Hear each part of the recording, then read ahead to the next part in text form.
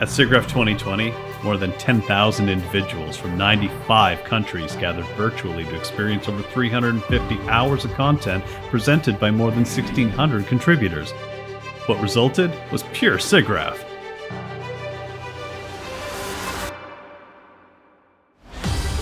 Robotic advances use subtractive fabrication techniques to carve foam and similar materials like an artist.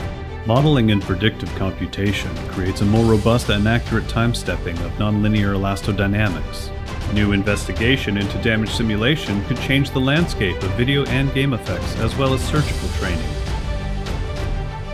Novel healthcare technologies point toward new ways to transform and enhance lives. Research will help users to create reprogrammable multicolor textures made from a single material. AI driven technology pushes the capabilities of crowd simulation.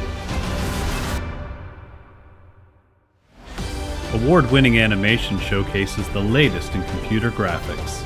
Real time and gaming technology advancements transform interactive storytelling techniques and explore new applications of the technology. Evocative digital artwork uses machine learning to create visceral experiences. Now is the time to share your research, your innovations, and your creative inspiration. SIGGRAPH is your community, and we hope you'll share your work with SIGGRAPH 2021.